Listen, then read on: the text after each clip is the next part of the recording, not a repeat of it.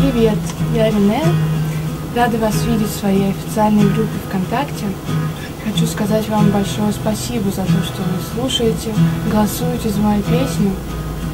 Сейчас мы готовим новый материал, новую песню. Надеюсь, что совсем скоро мы ее услышим в эфире. Всем хорошего настроения, удачи, пока.